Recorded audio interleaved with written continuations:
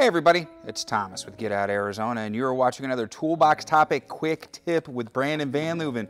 Brandon, go. Hey, do you like to tinker with the air pressure in your suspension?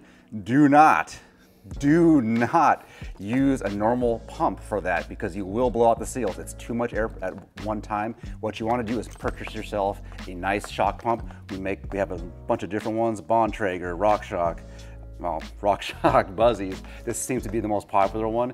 This will allow a very little bit of air at a very high pressure and will protect your suspension features. And that's what you do.